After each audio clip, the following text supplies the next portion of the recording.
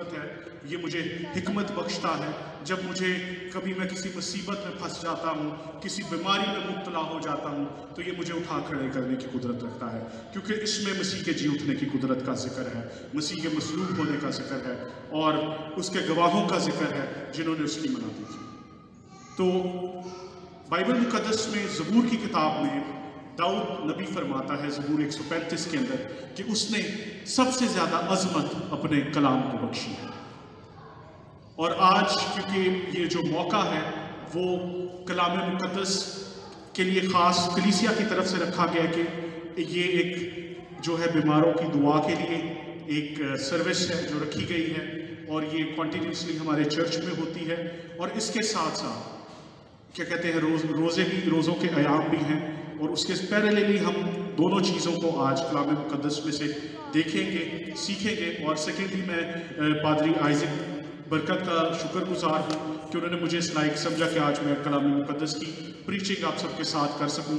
उसमें से कुछ हम सीख सकें, यीशु के नाम की इम्पोर्टेंस को सीख सकें। तो अगर जो मेरे साथ नसीब बहन भाई हैं उनके पास अगर बाइबल है तो मेरे साथ इमाल की किताब, उसका तीसरा बाब और उसकी पहली दस आयात को हम देखेंगे और वक्त को भी, की भी कदर करते हुए मैं कोशिश करूँगा कि मैं छह बजे इसको समाप्त कर दूँ। अमाल की किताब, उसका तीसरा बाब और उसकी पहली दस आयात में से हम पढ़ेंगे। भाई साहब, अगर इफ़ यू वोंट माइंड अगर आप हमें रहनुमाई कर दें प्लीज़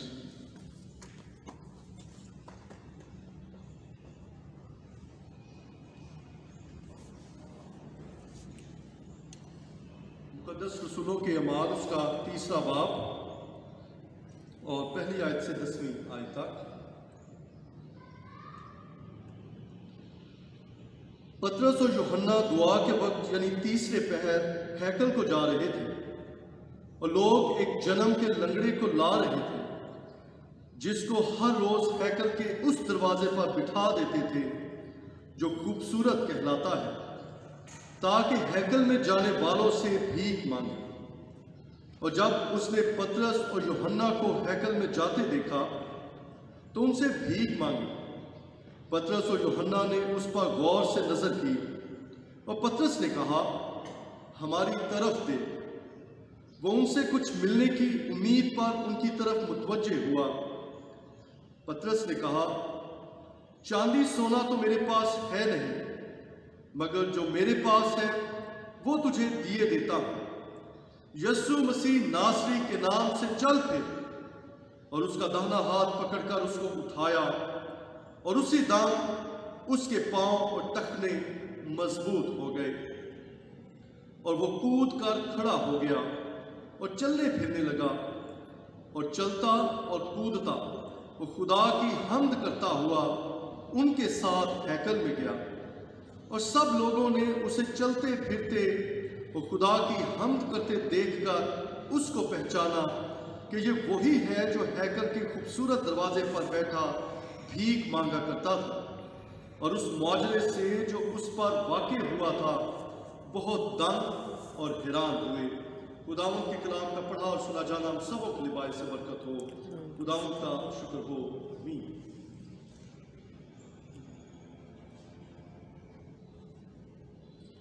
तो मेरे अजीज़ों जैसे कि कलाम का विरद आपके सामने पढ़ा गया है, वो अमाल की किताब, उसका तीसरा बाब और उसकी पहली दस आयात में से था।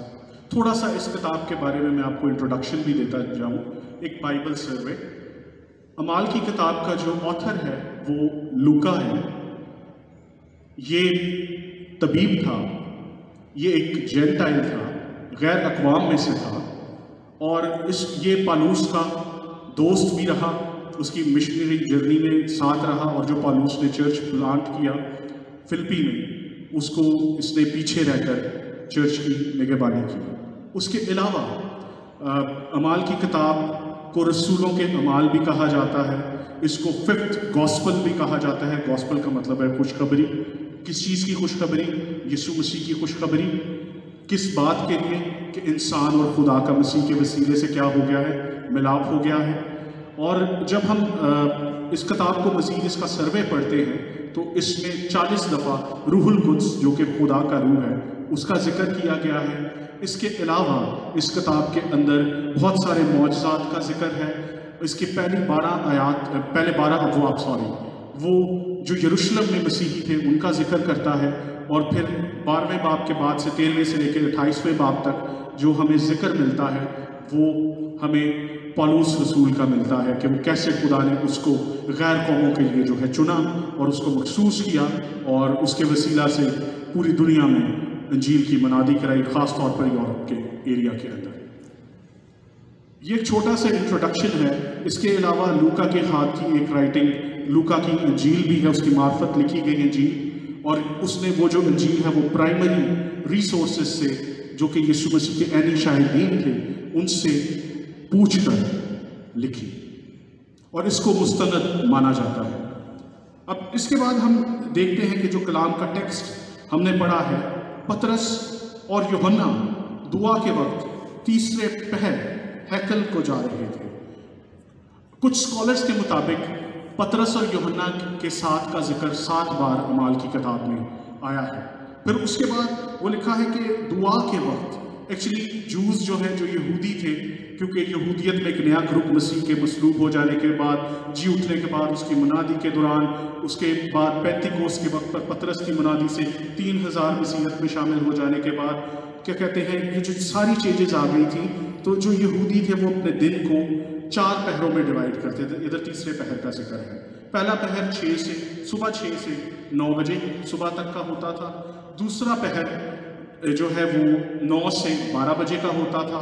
फिर बारह से तीन बजे का तीसरा पहर और कुछ स्कॉलर्स के मुताबिक ये तीन बजे का वक्त था जब पतरस और योहन्ना हैकल में जा रहे थे दुआ के लिए। फिर जब हम आगे पढ़ते हैं, वहाँ लिखा है, और लोग एक जन्म के लंगड़े को ला रहे थे, जिसको हर रोज हैकर के उस दरवाजे पर बिठा देते थे, जिसे खूबसूरत, जो खूबसूरत कहलाता है, ताकि हैकल में जाने वालों से भीख मांगे। यानी हैकल की ऐसी जगह जो खूबसूरत है, जहाँ से स्पेशल लोग आते जाते हैं, जिनको फेवर किया गया है, वहाँ पर उसको लाकर बिठा देते थे। अक्सर हम अभी भी देखते हैं बहुत सी जगहों पर जो जगहें मशहूर हो, जैसे कह लें हमारे लाहौर के अंदर क्या कहते हैं जो मज़ार कायद कराची में है, उस साइड पर भी इसी तरह से है। इधर मीनार पाकिस्तान है उस साइड पर भी इस तरह जितनी भी फ़ेमस प्लेसेस हैं या कोई श्राइन है, वहाँ पर हम अक्सर देखते हैं कि बाहर गरीबों को बिठा दिया जाता है ताकि वो भीख मांगे। इसी तरह सिमिलरली हैकल के बाहर जो खूबसूरत दरवाज़ा कहलाता था, वहाँ पर इनको, इसको जन्म के लंगड़े को बिठाया गया ताकि हैकल में जाने वालों से भीख मांगे। ठीक है? इसका मतलब क्या है कि वो भीख के गर्ज से हैकल के खूबसूरत दरवाजे के पास बैठा हुआ था। पतरस और योहन्ना को हैकल में जाते देखा तो उनसे भीख मांगी। हैकल का ज़िक्र मैं कर दूँ आपसे। ये हैकल सुलेमानी का ज़िक्र है। थर्ड टेंपल जो है अभी तो क्रिएट नहीं हुआ लेकिन ये हैकल सुलेमानी का ज़िक्र है। तो इधर लिखा है पतरस और योहन्ना हैकल में, को में जाते देखा तो उनसे भीख मांगी। वो भीख मांगने के गर्ज से उधर बैठा है। ठीक है उसको शायद रुपए की तलब हो पैसे की तलब हो चांदी की तलब हो, गोल्ड की तलब हो, वो शायद इस उससे जाके मुझे कुछ लोगों से मिल जाए। फिर जब हम आगे देखते हैं तो लिखा है, पतरस और योहन्ना ने उस पर गौर से नज़र की। उसने, पतरस और योहन्ना ने क्या कहा? जब गुजरते हुए उसको देखा, उस जन्म के लंगड़े को देखा, और उसकी एज जो है वो चालीस बरस से ज़्यादा की थी, अगर हम चौथे बाग का मुताया करें तो। फिर आगे हम देखते हैं तो वहाँ पर लिखा है वो उनसे कुछ मिलने की उम्मीद पर उनकी तरफ़ मतवजो हुआ। पतरस और यूहन्ना ने क्या किया?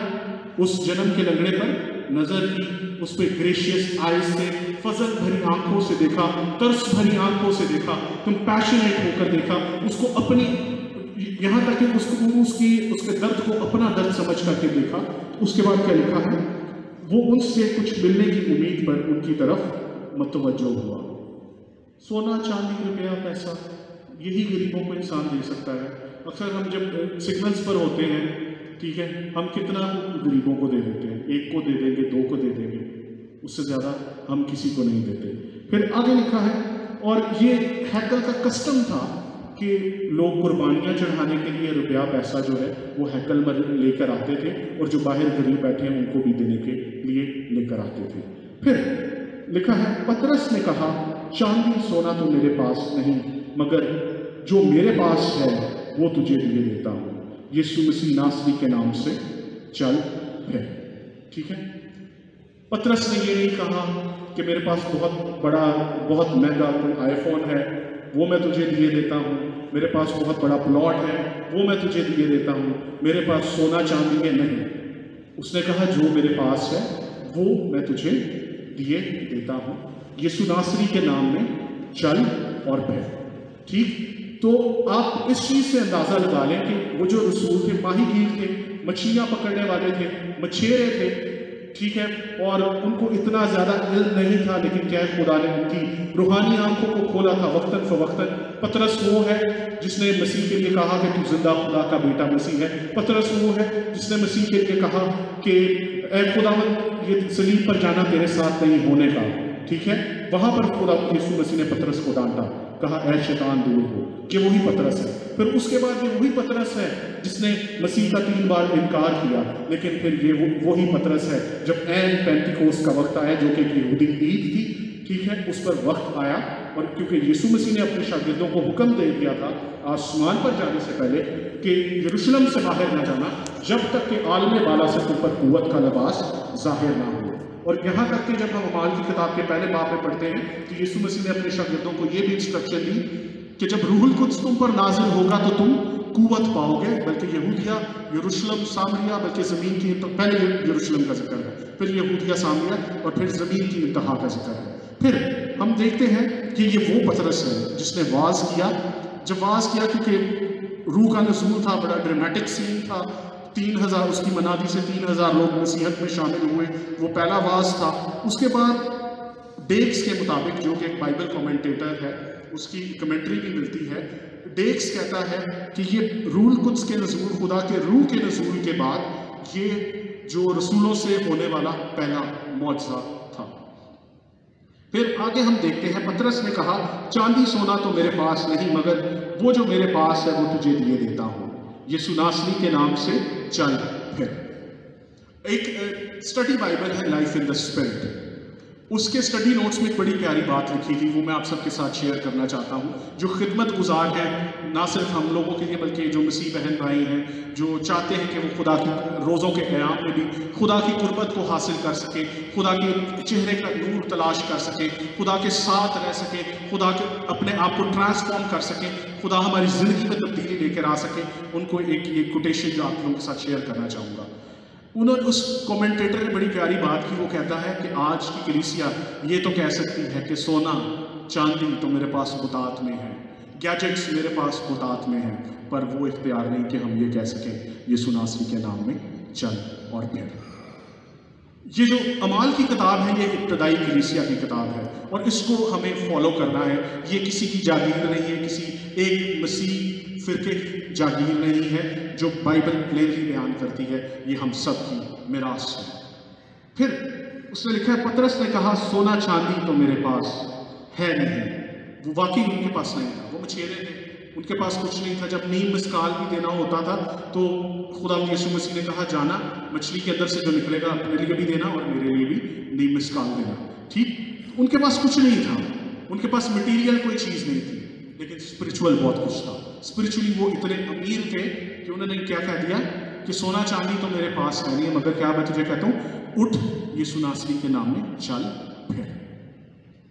आज हमें ज़रूरत है कि हम, हमारी जो आइडेंटिटी है, जो हमारी मसीह में अथॉरिटी है, जो उसने ना सिर्फ़ अपने इब्तदाई शागिर्दों को, बल्कि दौरे हाजिर के शागिर्दों को भी बख्शी है। जैसे उसने कहा कि मैं तुझे आसमान की कुंजियाँ दूँगा जो कुछ तू ज़मीन पर बांधेगा, वो आसमान पर बंधेगा और जो कुछ तू ज़मीन पर खोलेगा, वो आसमान पर खुलेगा। इसकी ज़मीन पर खोलने की मिसाल, आसमान पर बांधने की मिसाल हम संडे स्कूल में गीत गाते थे और पुराने नामे में भी ज़िक्र है, एलिया हमारा हम तबीयत इंसान था। उसने घुटनों पर बैठ के दुआ की और आसमान को साढ़े तीन बरस तक बंद रखा और जब दुआ की तो बारिश हुई। ठीक है? तो वो इख्तियार आज भी हम सब के लिए मौजूद है। सिर्फ़ एक चीज़ है, ईमान का इस्तेमाल। फिर आगे हम देखते हैं कि क्या हुआ। जब उसने ये बात कह दी तो इंस्टेंट हीलिंग हो गई। मैं आपके सामने मीडिया मिनिस्ट्री की हीलिंग की बात नहीं कर रहा, जो आजकल पोर्ट्रे होती है। आप यूट्यूब पे जाएँ, आप चैनल्स पर जाएँ, मैं उसकी बात नहीं कर रहा। मैं पत्रस और योहन्ना से सरजद होने वाली, से कमिट होने वाली हीलिंग की बात कर रहा हूँ। लेकिन आगे जब हम पढ़ेंगे तो वो इसका क्रेडिट भी नहीं लेते। वो क्रेडिट किसी और शख्सियत को देते हैं, क्योंकि जिसका नाम इस्तेमाल करें क्रेडिट उसको देंगे। लिखा है आगे कि उसका दाना हाथ पकड़कर उसको उठाया पहले क्या किया? पत्रस ने हुक्म दिया कि सोना चांदी मेरे पास नहीं है, लेकिन जो है तुझे दिए देता हूँ। फिर क्या किया? उसको पकड़ा और उसको उठाया। आज ज़रूरत है कि हम पत्रस से सीखें कि हमने सबको उठाना है। जो बीमारी में है, दुख में है, बीमारियों में है बतौर मसीही मसीही बहन भाइयों को, दीगर बहन भाइयों को, जो हमारे बहन भाई हैं, ठीक है, सबको, जो आदम की आदमियत से हैं, हर तरह से हमारे सोशली एसोसिएटेड है। हमने सबको उठाना है, चाहे वो बीमारी में है, किसी चीज़ में भी है, हमारा क्या काम है? उनको अपलिफ्ट करना है, उनकी मदद करना है, उनको एक किसी स्ट्रक्चर पर लेकर जाना है। फिर आगे हम देखते हैं, ज़िक्र किया है, और वो कूद कर, और उसी दम उसके पाँव और टखने मज़बूत हो गए। एक जन्म का लग रहा है, चालीस बरस से ज़्यादा की उम्र का है, उसको उसने हुक्म दिया, उसके टखने भी मज़बूत हो गए हैं। उसके बाद लिखा है, और वो कूद कर खड़ा हो गया।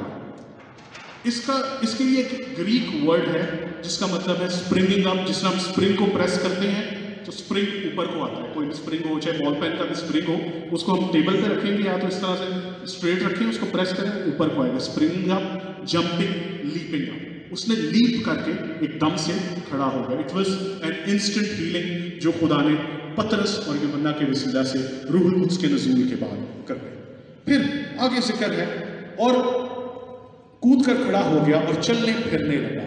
And he started to walk वो चलने फिरने लगा। और चलता और कूदता और खुदा की हमद करता उनके साथ हैकल में गया। पहले बाहर बैठा है। यानी इसका मतलब क्या है? मुआवजा होने की जगह कौन सी थी? हैकल के बाहर।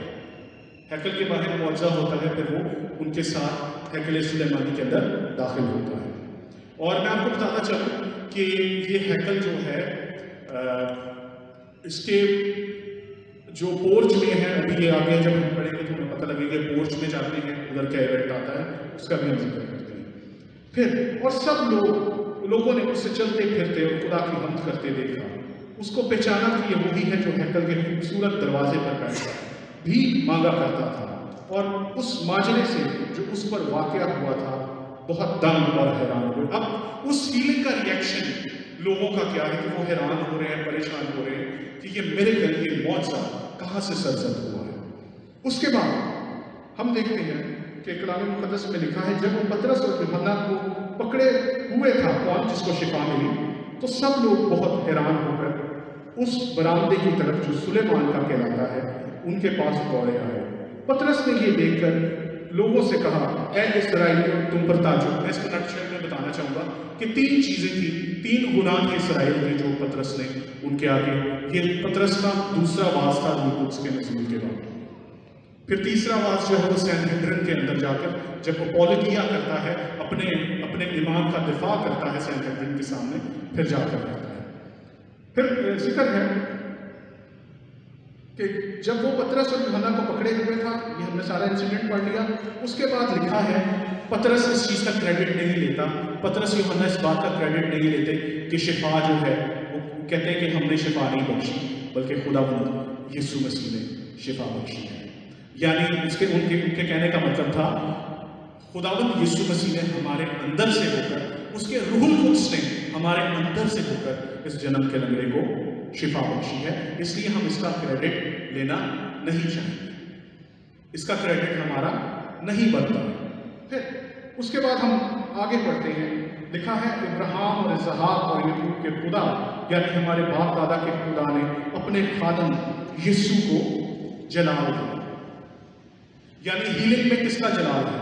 किसी खादम का, किसी इवेंजलिस्ट का, किसी किसी भी नबी का, किसी का भी जलाल नहीं होता, उसमें खुदा का जलाल है। फिर आगे हम देखते हैं, जिसे तुमने पकड़वा दिया, फिर ज़िक्र है कि कैसे उन्होंने पकड़वाया, ज़िंदगी के मालिक को कैसे, जो कि ऑथर ऑफ़ लाइफ है, ठीक है, ईमान का पानी है, उसको कैसे पकड़वाया, इन सारी चीज़ों का ज़िक्र है। फिर जाकर कहता है, बस तौबा करो और रजू लाओ। ताकि तुम्हारे गुना मिटाए जाए और इस तरह खुदावंत के हजूर से ताजगी के दिन जब एक ट्रू कन्वर्जन एक ट्रू मेरिकल आपकी ज़िंदगी में होता है तो ऑटोमेटिकली जब हम अपने गुनाहों से तौबा करते हैं, उनको रद्द करते हैं, उन चीज़ों में नहीं रहते, उनसे बाहर निकल आते हैं, वो भी खुदा से फजल पाकर, जैसे हम एक गीत भी गाते हैं, मदद उसी को लो पाकर तो उसमें से जब हम उस स्टेट में से बाहर निकल आते हैं, जब हम मोर देन कॉन्करर हो जाते हैं ओवरकमर हो जाते हैं, तब क्या कहता है? तब हम पर ताजगी के दिन आते हैं रिफ्रेशिंग डेज़ आते हैं। ताजगी फ्रेशनेस एक मसीही ईमान के अंदर एक फ्रेशनेस आती है। वो स्टेलनेस नहीं रहती। आप खड़े पानी की मादत नहीं होते, बल्कि आप बढ़ते चले जाते ईमान से ईमान और जलाल से जलाल तक आप बढ़ते और फूलते फलते चले जाते हैं। इसके बाद आगे बहुत सारी चीज़ों का ज़िक्र है, यीशु मसीह का आना और सब चीज़ों को बहाल करना। और उसके बाद सैनहेड्रन में पतरस यूहन्ना को पेश किया जाता है और इनसे पूछा जाता है कि किस इख्तियार से, किस डोनमस से, किस पावर से तुमने इस को, इस जन्म के लंगड़े को चलाया? किस इख्तियार से तुमने ये काम किया है? तो एक बड़ी ज़बरदस्त स्टेटमेंट जो पतरस है वो देता है, लो, तुम सब और इसराइल की सारी उम्मत को मालूम हो कि यीशु मसीह नासरी जिसको तुमने मसलूब किया और खुदा ने मुर्दों से जलाया उसी के नाम से ये शख्स तुम्हारे सामने तंदुरुस्त खड़ा है। मतलब अगर हम इसका ग्रीक, वो पढ़ें ग्रीक में बहुत सी चीज़ें हमारे खुल जाती हैं, बहुत गहरे मीनिंग सभी समझ आते हैं बाइबल मुकदस में। क्योंकि न्यायनामा कोई नहीं ग्रीक के अंदर है तो ये ज़रूरी है कि हम उसकी एक्चुअल लैंग्वेज में बाइबल मुकदस को समझ सकें। इसके लिए जो है फॉलो ठीक है, जिसका मतलब है कंप्लीटनेस होलनेस किसके नाम से आए? यीशु मसीह के नाम से आए। अक्सर हमें गीत भी गाते हैं यीशु चाहिए, मुझे यीशु चाहिए उसके अंदर कहते हैं, शायद ही कहते कहते हैं, शिफाएँ और भी देने के। बहुत से शिफा देने वाले डॉक्टर्स भी हैं, बहुत से विच डॉक्टर्स भी हैं, बहुत सारे जादूगर भी हैं, बहुत सारे बाबे आम पीर भी हैं, शिफाएँ सब देना जानते हैं। लेकिन कोई आज तक गुनाह का इलाज नहीं करके कर सकता। सिर्फ़ यीशु मसीह ने आपकी ना सिर्फ़ गुनाह का इलाज कर सकता है, बल्कि आपकी जिस्मानी हीलिंग भी वो पूरी कर सकता है कंप्लीट कर सकता है। क्योंकि उसकी कुर्बानी कामिल कंप्लीट है, इसलिए शिफा भी कामिल बख्शता है। और जिस नाम का इस्तेमाल किया गया है, उसका भी थोड़ा सा ज़िक्र कर दूँ जब यीशु मसीह साउथ फरमाने लगे तो जब उन्होंने अपने जितने भी शागिर्द थे, उन्हें ग्रेट कमीशन दिया तो अरशाद आज़म दिया तो उस दौरान उन्होंने मरकज की अंजील उसके सिर्फ़ मैं इसको वाइंड अप करने को हूँ मरकज की अंजील उसका सोलवा बाब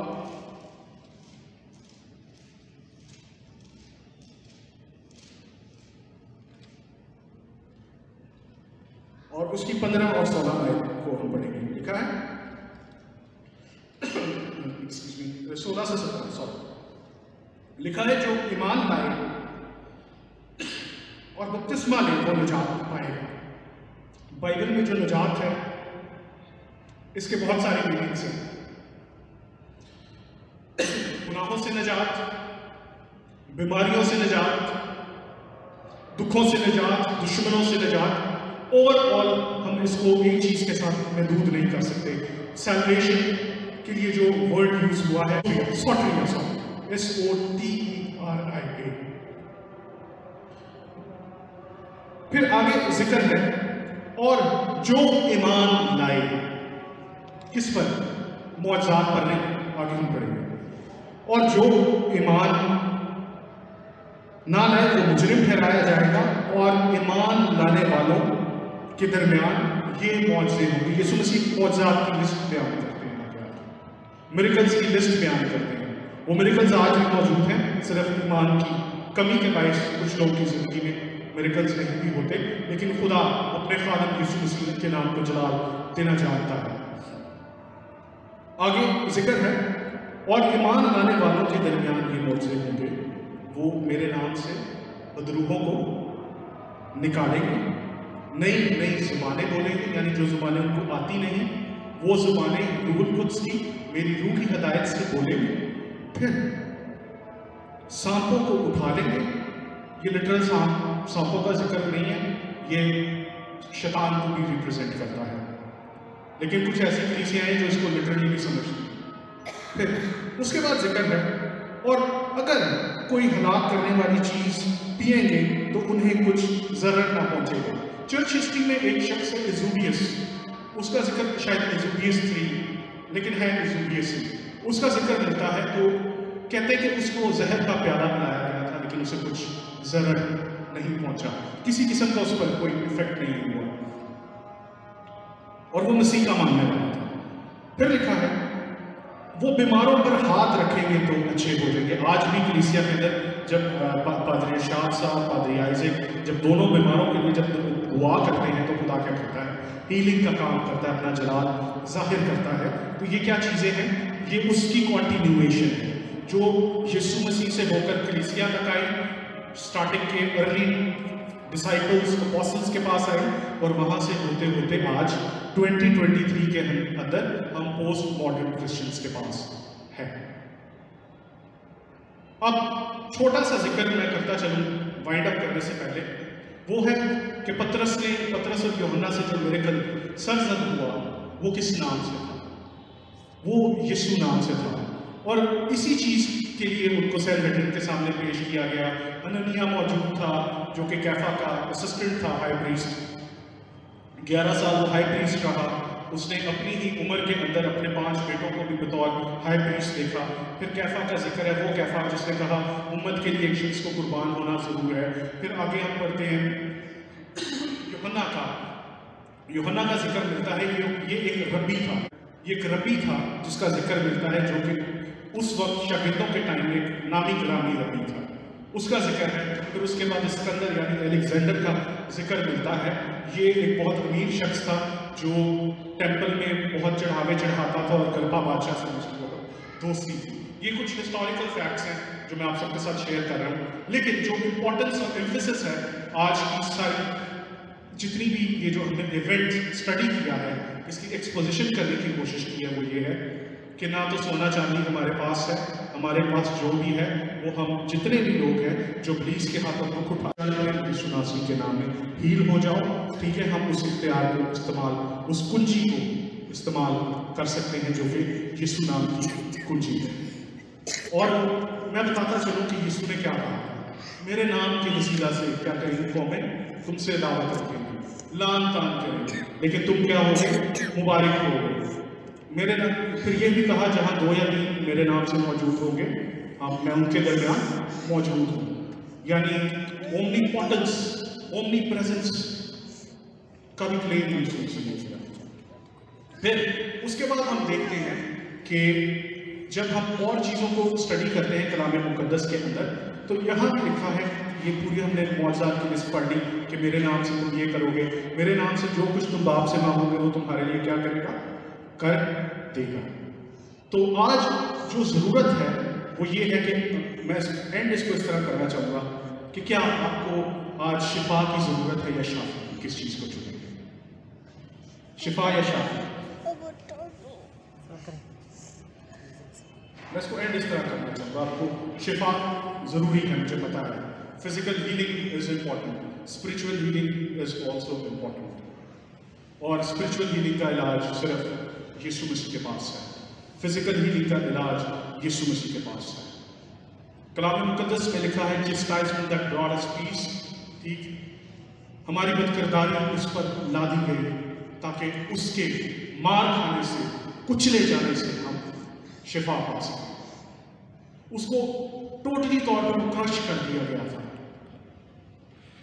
उसका, उसके मुँह पे थूका गया, तमाचे मारे गए, हर चीज़ की गई, लेकिन कबर पर उसका ज़ोर ना चला। लांती स्लीप के ऊपर वो लटक गया।